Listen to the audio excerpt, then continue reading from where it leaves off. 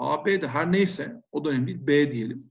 Biz şunun farkındayız. A ile B'nin toplamı diğer iki kenarın uzunluklarının toplamına eşittir. Yani 6 artı 10'a eşittir. Yani bununla bunun toplamı bununla bunun toplamına eşit. Öyle değil mi? Yani aslında çevre o halde. Çevre 16'nın iki katı. Yani 32'dir.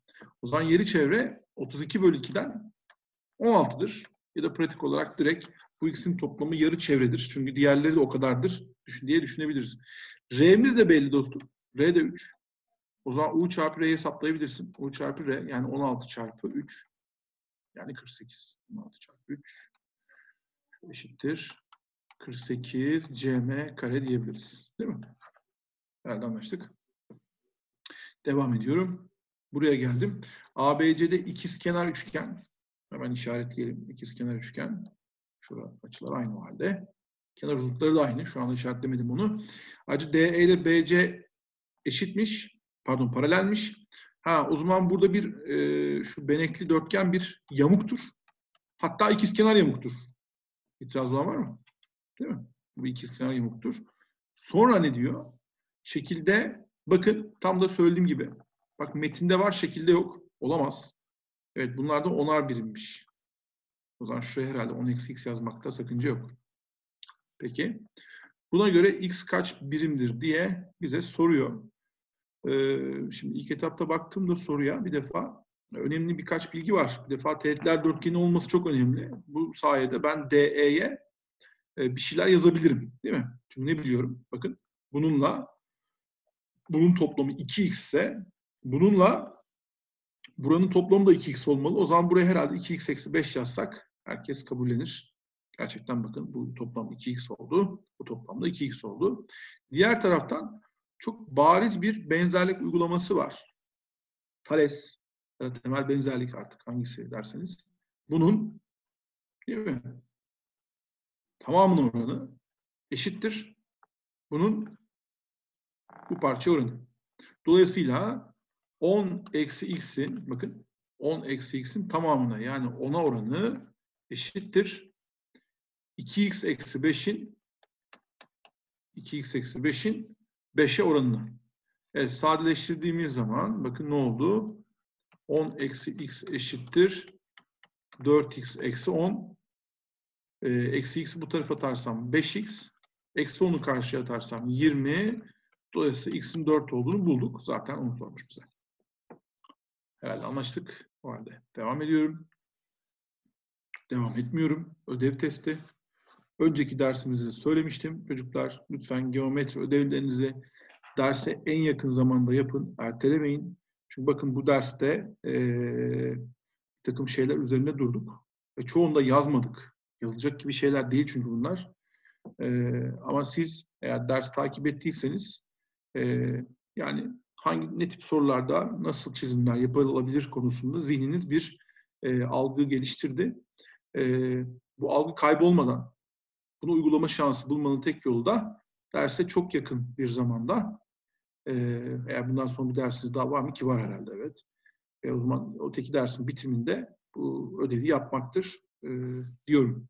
Peki o halde bu 34. föydü dostlarım. Geldik 35'e. 35 neymiş? Orada da dairenin alanı varmış. Harika. Tabi alandan önce herhalde çevreden de bahsedecek olsa gerek. Evet. Peki. Çemberin çevresi. Çemberin çevresi. Ee, şimdi bizim tabi e, küçüklükten beri bildiğimiz bir formül var. 2 pi r. Yani formül mü diyelim ne diyelim bilemedim. 2 pi r'yi herhalde herkes biliyor. Bu çemberin çevresini ya da dairenin çevresini bulmaya yarar. Ee, şimdi tabii e, belki daha önce de konuştuk bunu. Yumurta mı tavuk, tavuk mu yumurtadan çıkar gibi bir hikaye bu. Çünkü bu aslında çemberin çevresi değil. Yani çemberin çevresi bu değil. Çünkü pi'nin tanımı bu. Bak dikkat edelim. Pi adam böyle tanımlamış. Çevreyi, bir çemberin çevresini çapa bölümüdür. Pi'nin tanımı bu.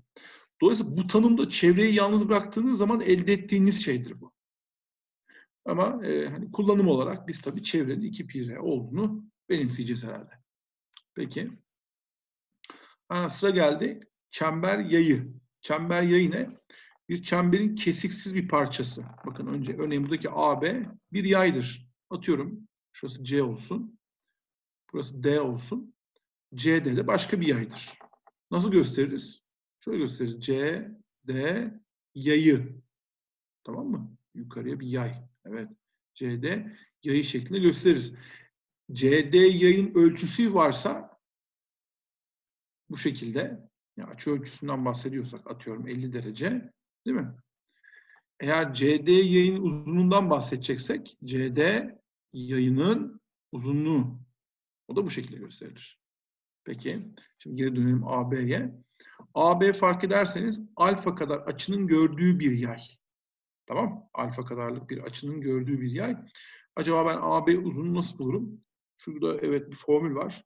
Tabii yani bunları e, böyle motomot ezberlemek gayet gereksiz bir hareket. Nereden geldiğini bilirsek zaten böyle bir şey ezberlemenin ne kadar gereksiz olduğunu kendiniz anlayacaksınız. Şöyle ki madem biz e, merkez açı üzerinden gidiyoruz o zaman diyeceğim ki ben arkadaşlar şu anda bu merkez açının tamamı kaç derecedir? Yani bir çemberde merkezdeki bu açının tamamı kaç derecedir? Tabii ki herkesin cevabı belli. 360 derecedir. O zaman 360 derecelik açının gördüğü yay 2 pi r ise acaba alfa kadarlık açının gördüğü AB yayının uzunluğu ne kadardır? Burada bir doğru orantı olduğu herhalde aşikar. Şöyle ki alfa açısı büyüseydi değil mi? Görüyorsunuz. Yay da büyüyecekti. Bakın biraz daha büyütelim. Evet. Alfa büyüdükçe yay da büyüyor. Burada bir doğru orantı var. O zaman burada biz AB'yi yalnız bırakırsak ne olur?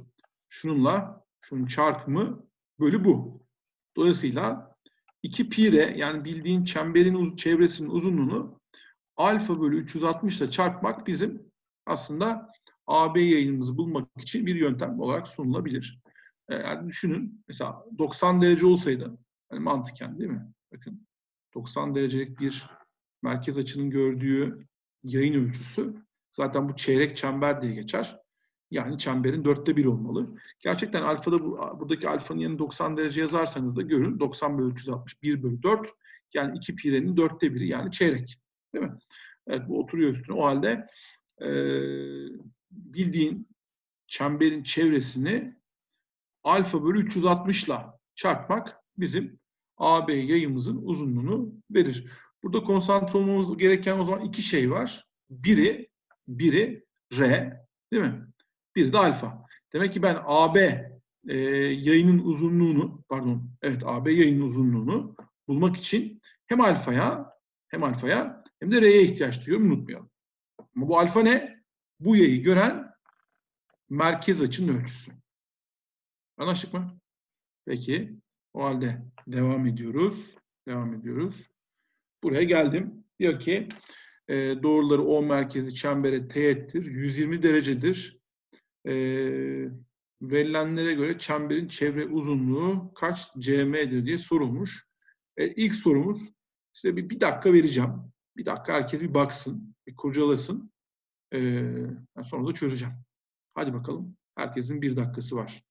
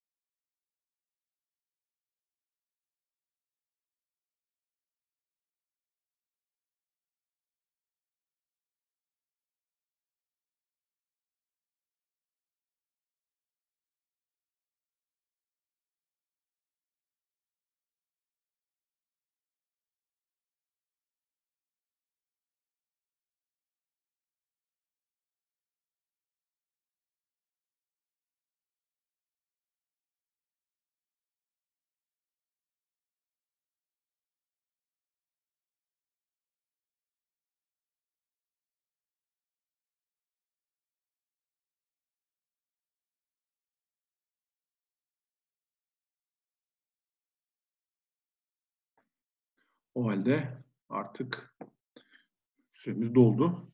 Ne dedik? e, ne dedik hatırlarsanız bize çemberin çevre uzunluğu sorulmuş. Kolay bir soru aslında. Bizim yapmamız gereken şey yarıçap bulmak. Aslında soru bu. Yarıçap nedir? E, yarıçap bulmak için önce bir yarıçap çizmek lazım. Sanıyorum teğet görünce de herkes şöyle bir yarıçap çizdi, değil mi? Diğer taraftan burada bir de sushi ya da işte parti şapkası diyebiliriz değil mi? Bunun da e, özelliği gereği aile oyu birleştirir. Hatta devam da fark etmez. Çok önemli değil. O zaman ne elde ederiz? Şurada bir açı ortaya oluşur hatırlarsanız değil mi arkadaşlar? O halde 120'yi 60-60 böldüm. E burada da bir 30 derece oldu. Değil mi dostlarım? Ha, şimdi e, artık bizim söz konusu yarıçapımız burada. Aradığım, aradığımız, merak ettiğimiz yarıçap burada. Bu da bir dik üçgen. 30'un karşısında kök 3 var. Acaba 60'ın karşısında ne vardır? Tabii kök 3 katı vardır. Yani 3'tür. O zaman R'nin 3 olduğunu bulduk. Çevre uzunluğu hatırlarsanız 2 çarpı pi çarpı R yani 3'tü. E, o da ne yapacak tabii? 6 pi. Yani cevap C. Değil mi? Devam ettim. Ee, bir tasarımcının birim kareler üzerine iki birim yarı çaplı çeyrek çemberler çizerek oluşturduğu desen şekildeki gibi gösterilmiştir. Ee, bu desenin çevre uzunluğu kaç birimdir? Evet, bu desenin çevre uzunluğu kaç birimdir diye bize sormuşlar. Bir defa bu çemberlerin hepsinin yarı çapın iki birim olduğu hem söylenmiş hem de ben şekilde görüyorum farkındaysanız değil mi? Ya söylemeyebilirdi. Ee, ÖSYM son yıllarda bu e, birim karelere şekiller çizip e, sizin oradaki uzunlukları kullanmanızı bekliyor çünkü. E, yani burada evet bunu çizersem bakın zaten yarıçapın iki birimi olduğunu ben de görüyorum. Değil mi? Ya da başka bir çemberin merkezinden çizersem iki birim olduğu görülüyor. Peki e, asıl mesele burada kaç tane çember olduğunu bulmak değil mi? Bir hali çember var gibi görülüyor. Onun için şöyle bir şey yapacağım ya. Şunu çizeceğim. E, hatta şöyle yapayım. Diğer renkte çizim, diğer yarıçaplar karışmasın. Bakın. Şöyle bir çizim yaparsak herhalde herkes çemberleri makul e, biçimde böldüğümüzü fark etti. Yani fark ederseniz burada bir 3 bölü 4'lük ya da 4'te 3'lük bir çember var. Benzeri burada var, benzeri burada var, benzeri burada var. Yani 4 tane var. 4 tane 3 bölü 4'lük çember. Doğru mu? Başka ne var? Bak dostum burada bir tane yarım var. Burada bir tane yarım var. Aynı şekilde burada. E burada yarım var. E, 4 tane de yarım var. Onu da yazayım. 4 çarpı 1 bölü 2. E, o zaman ne olur bak şimdi. Bu dörtler giderse 3. Bunlar giderse 2. Aslında burada 5 tane çember varmış. Tabii benim bu hesabı yapabilmemin asıl sebebi şu. Tüm çemberlerin yarı çapları aynı. Eğer birinin yarı çapı 2 iken diğeri 3 olsaydı hepsini aynı kefeye koyup da böyle bir hesaplama yapamazdım. Yani o da tabii klasik elma ile armut toplanmaz hikayesine dönecek. Ee, ama şu anda hepsinin yarıçapı aynı olduğu için bu tip bir çalışma yaptım. O zaman benim yapmam gereken 5 tane çemberin yarıçapı, e, pardon 5 tane çemberin çevre uzunluğunu bulmak. E, bir tanesini bulursam 2 çarpı pi çarpı r, e, r de 2 idi. Bunu da 5'e çarparsam gördüğünüz gibi o halde 20 e, pi. Evet. Bu çemberin çevre uzunluğu, yani şeklin çevre uzunluğu 20 pi bulunur. Değil mi? Peki. Buraya da geçtik. Geldik buraya. Burada ne diyor? Ee, şekilde evet. Şekilde birim kareler üzerine merkezleri gösterilen 5 adet çember çiziliyor. Sonra bu çemberlerin arasında kalan bölge e, boyanıyor. Boyalı bölgenin çevresi kaç birimdir? Bakın tam da demin e, soruyu çözerken yaptığımız iki uyarıyı kapsayan bir soru. Hem çemberlerin yarı çapları aynı Tabii aynı yarıçap çemberler var aslında öyle söyleyelim isterseniz. Hem de e, görüyorsunuz ki bize yarıçapları söylememiş, şekle bakarak kendimizin bulması gerekiyor. E, şimdi burada bir defa şu var. Öncelikle çocuklar, şurada bir çeyrek çember. Hatta çeyrek çember ifadesi yetmez. Yarı çapı iki birim olan çemberin çeyreği. E bir de burada yarı çapı iki birim olan çemberin çeyreği görüyor musunuz? O zaman bu ikisinin toplamı yarı çapı iki birim olan yarım çember. Yani 1 bölü 2 ile başlayayım. Yarım çember dediğim için. Ya da onu en sona koyayım da. Şimdi yarı çapı iki birim olan çemberin çevresi 2 pi r ama bize bunun yarısı lazım. Herhalde bu cepte. Değil mi? Bu iki, iki tane çeyreğin toplamı yarım etti çünkü. Artı burayı çizdik. Burada ne var? Bak yarı çapı bir birim olan yarım çember, yarı çapı bir birim olan çeyrek çember. Yarımla çeyreğin toplamı. Yarımla çeyreğin toplamı demin soruda gördük. Şurası kadar. Yani dörtte üç değil mi?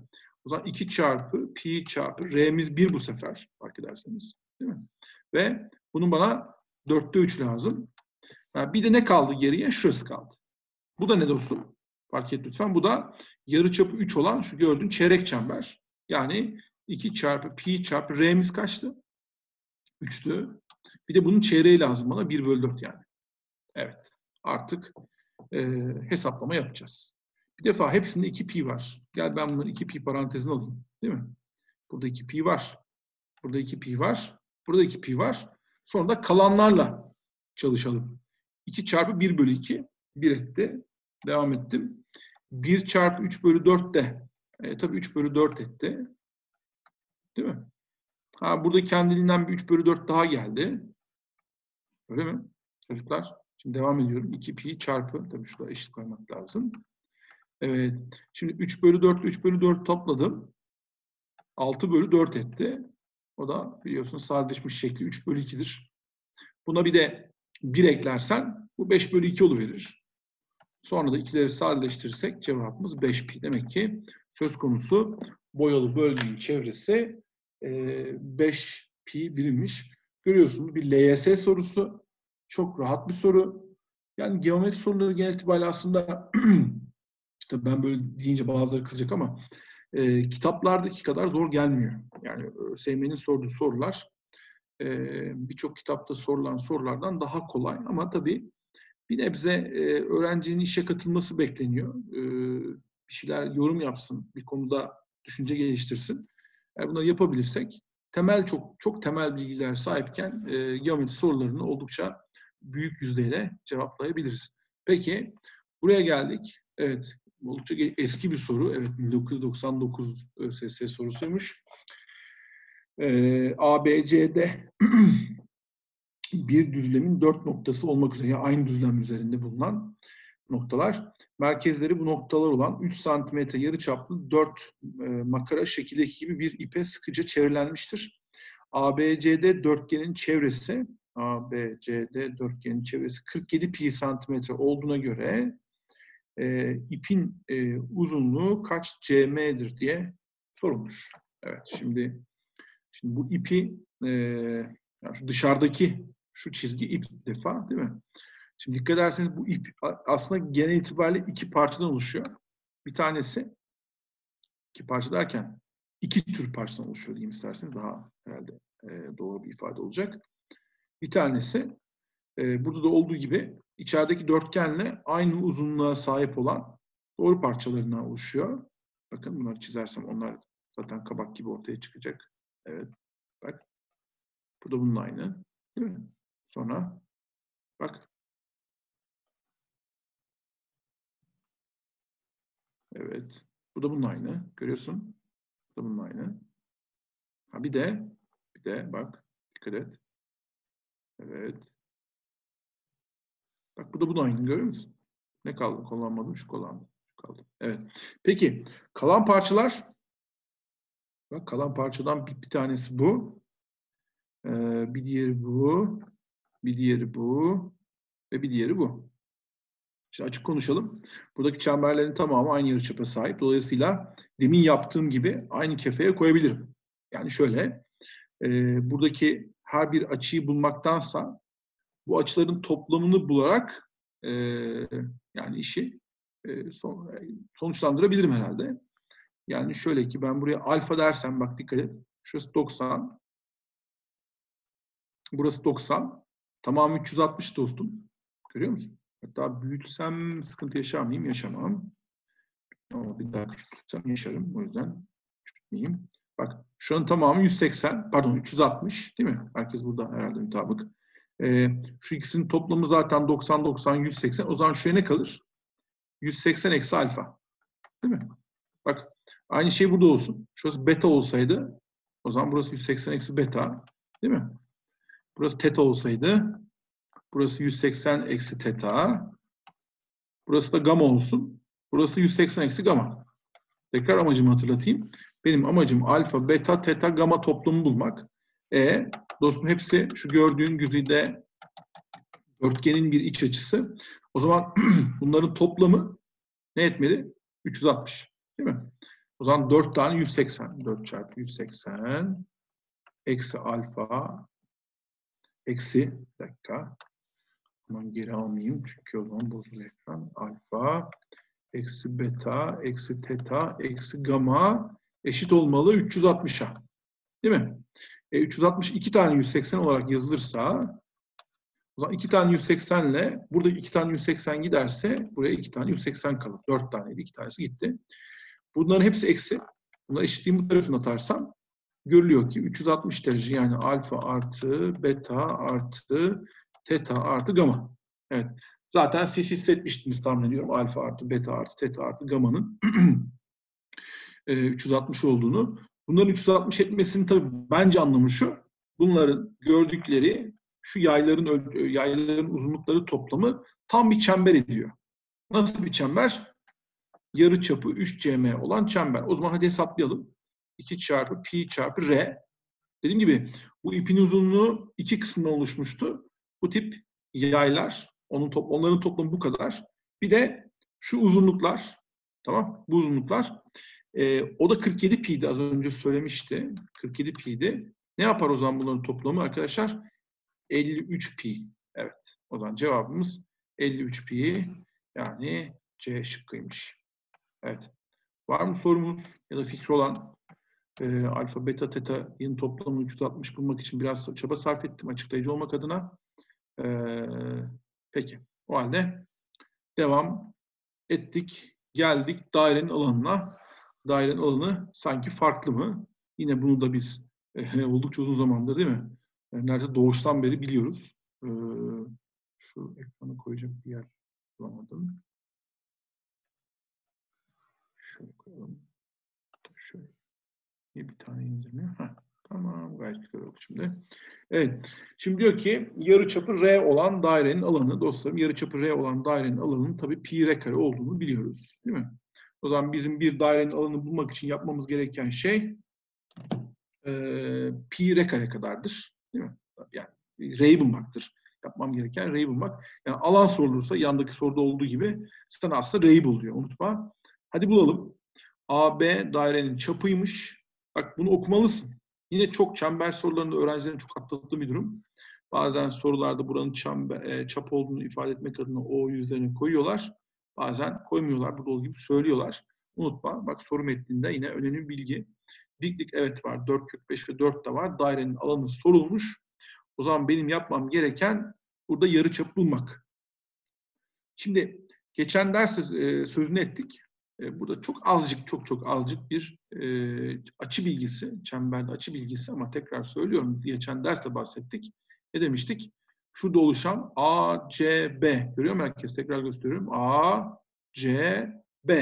ACB açısı bir e, çevre açıdır ve çapı görmekte, çaptan öte çemberin yarısını görmekte, yani 180 derece görmekte. Herkes hatırlayacak ki e, çevre açı gördüğü yayın ölçüsünün yarısına eşit olduğundan burası 90. Aa, o zaman o buradaki CAB üçgeninde dikten dikilmiş. Dikten dikilmişse tabii Öklit gündemde değil mi? Öncelikle isterseniz şu Pisagor'u kullanarak o AD'yi AD'yi bulalım. Yine geçen dersinde söylediğimiz bir şeydi. Bakın hatırlatayım ben tekrar. Bunları birkaç kez söylemek gerekiyor. A, 2A olduğunda burası A kök 5 yapar demiştik. Burada bak 4 var. 4 kök 5 var. Bil bakalım burası kaç o zaman? Evet 8. Değil mi? Burası 8 olmalı.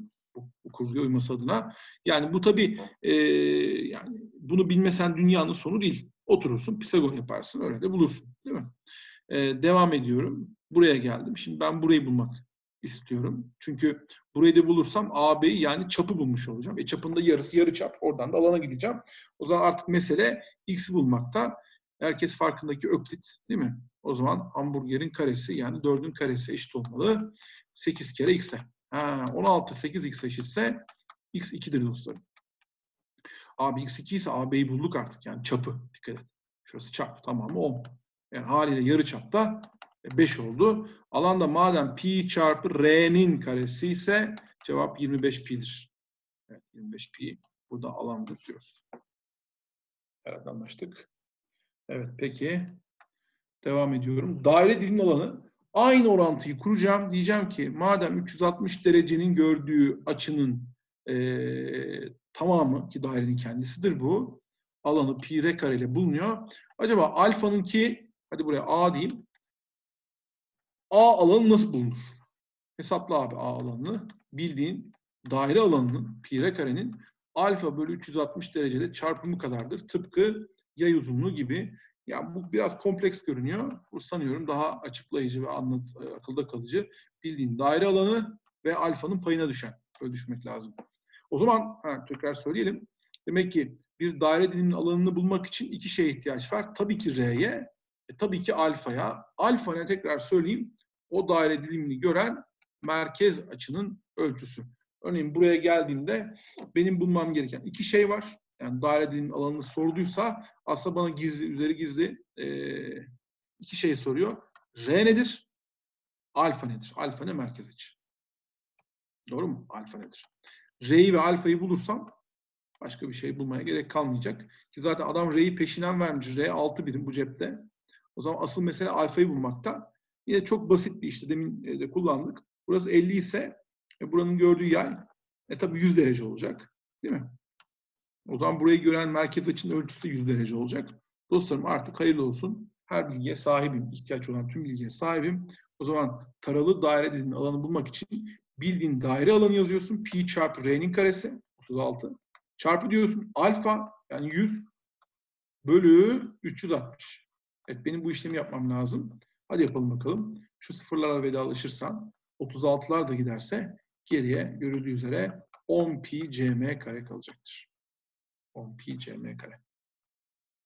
Peki. Geldik buraya. O merkezli çeyrek çember OC paraleldir.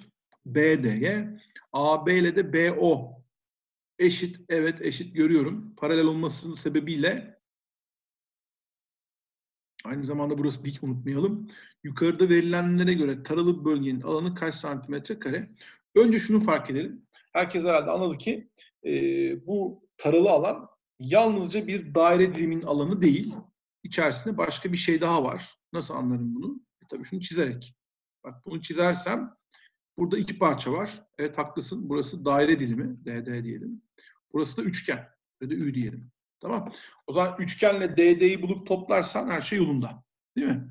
Üçgeni bulmak kolay sanki. Şöyle ki bu çemberin yarıçapı 12. E, o zaman burası OA da 12. Değil mi? O zaman 6 6 paylaşırlar. Değil mi?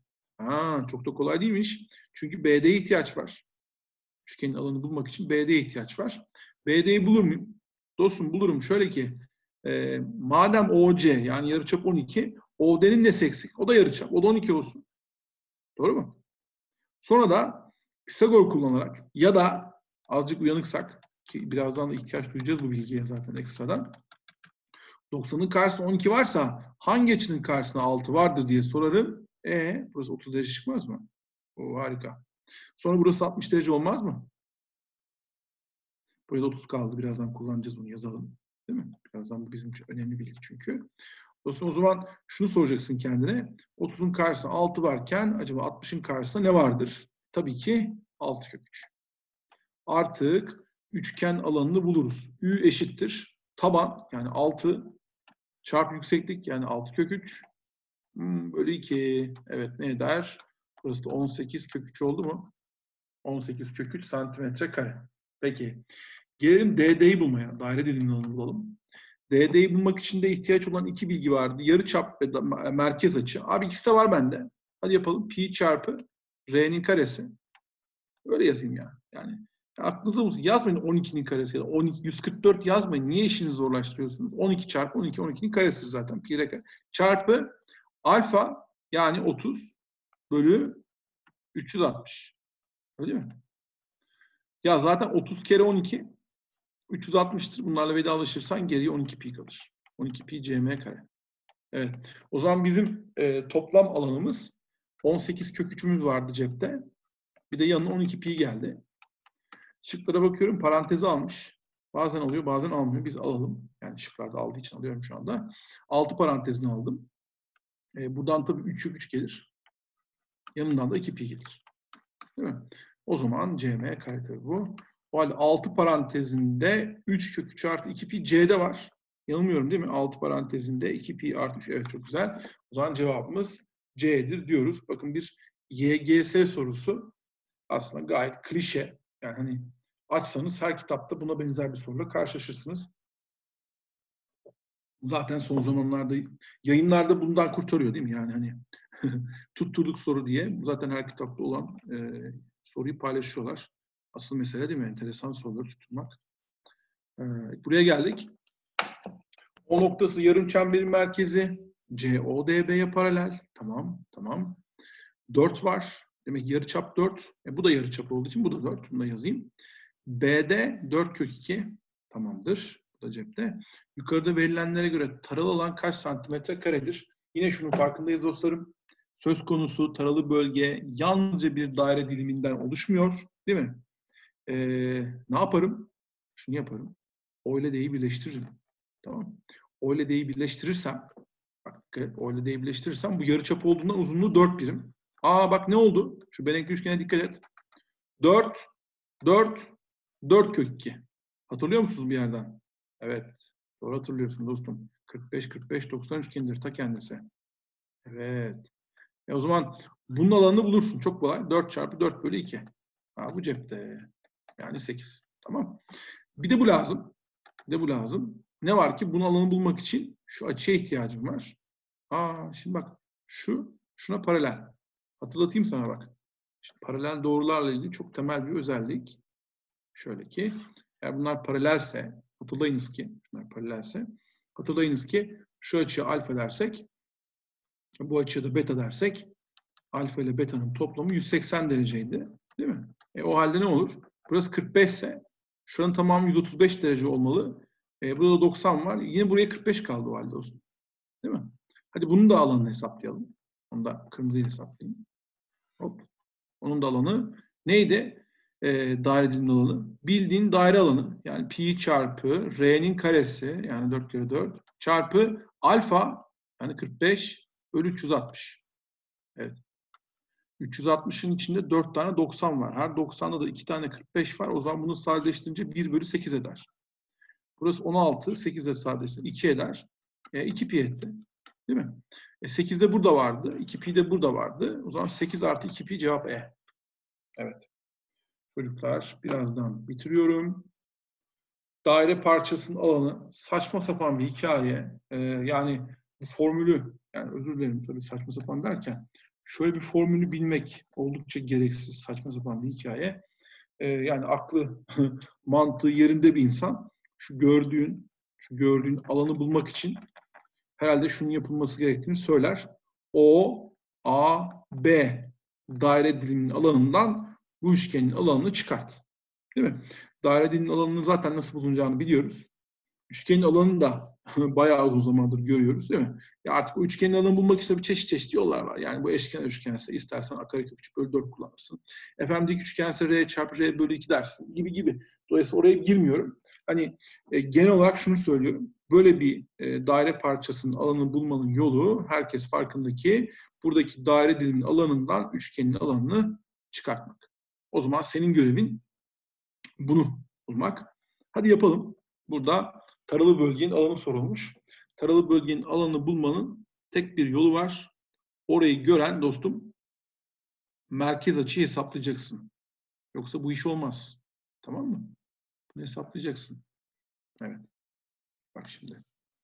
Ee, burası R'ye kadar. Burası R'ye kadar. İşte herkes hissi olarak burası üçgen, burası üçte demiştir herhalde. Ama ben istersen sana bunun sebebini açıklamaya çalışayım. Ee, buraya O dersem ve O'dan EF'ye ben bir dik inersem dostum ne yapar? Ne yapar söyle bakalım. Tabii ki bu kirişi ikiye böler. Değil mi? Kirişi ikiye böler. Ee, yani şuraya 3 3 paylaştırır. Değil mi? Sonra da burası üçgen. Burası da üçgen. Buranın 6 olduğunu yine buranın 6 olduğunu yazarsın. Buraya 3 bulursun. Tamam. Tabii hissi olarak söylemek burada bir sakınca değil yani ama ben hani göstermek istedim. Şimdi o zaman aa ne var? Herkes farkında mı? Gerçekten de demin kulağın çınlatmıştık. Hemen karşımıza çıktı. Burada bir eşkenar üçgen var. Yani benim burada, şurası 60 derece olduğu halde, benim buradaki taralı bölgenin alanı bulmamın yolu 60 derecelik daire dilinin alanından buradaki eşkenar üçgenin alanını çıkarmaktan geçiyor. Hadi yapalım. Pi çarpı R'nin karesi. Yani altının karesi. Pi R kare. Değil mi?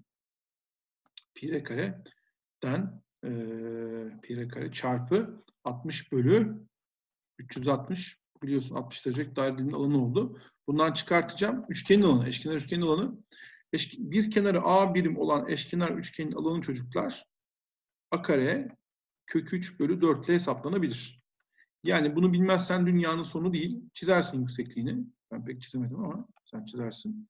Ee, burasının 30 çok küçük oldu ya. Ben açıklayayım ben sana şurada tekrar.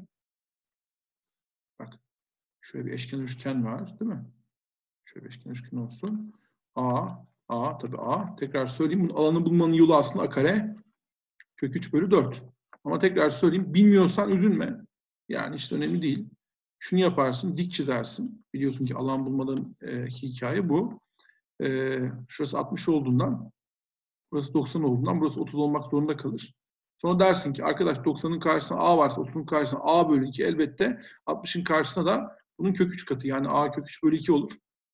E burası da A'ydı. O zaman tabana yükseklik A kök 3 bölü 2. Al bir de 1 bölü 2 sana. O zaman ne etti?